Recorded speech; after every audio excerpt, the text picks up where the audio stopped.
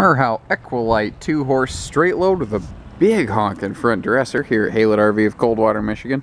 I did not believe the year of this trailer when uh, our boss first told me. I came through it and looked at it, told me it was like an 04 and 05 or something like that, and I just I couldn't believe it. And these folks used it, but uh, this is a well-built, well-manufactured, and most of all, well-maintained trailer, and that's where all the differences come in. Equilite, as opposed to Equistar, which you'll find that name under Merhow as well. This is, uh, they're both all, uh, or pardon me, they're both aluminum over steel. The difference is when you bump up to Equilite from Equistar, you pick up like uh, aluminum interior stuff like aluminum dividers, floor, things like that, versus the Equistar, which might be steel or maybe a wood floor.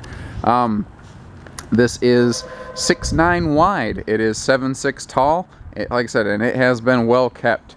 Uh, the pads are not chewed up from horses. It's you know been uh, swept out, cleaned out from time to time the way it needs to be. The uh, the the uh, uh, metal under the uh, padding here is just spick and span. So they definitely didn't let stuff sit. They kept things clean. Um, again, being an Equilite, we do have all aluminum dividers, which means they can be um, easily removed as well. Peel a couple pins out, and you get some excellent airflow in here too. Now, what's kind of cool is the uh, the twin escape doors.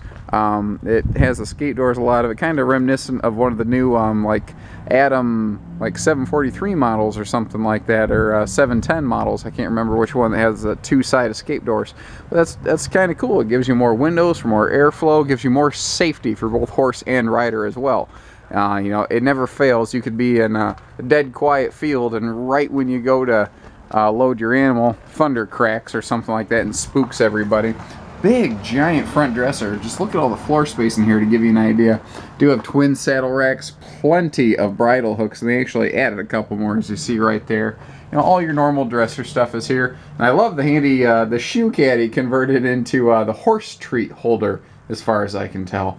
But uh, again, everything up here is very clean. I like the front windows for extra airflow. A light in here, as long as you have a, a power source to the trailer, there is a light for the dresser. Very clean. Um, and, and again, remarkable condition for the year of the trailer. I, I'm still very impressed by the, the personal care and maintenance that went into this one. So give us a call, 800-256-5196. Haylett RV of Coldwater, Michigan. Take care, stay safe, happy trails.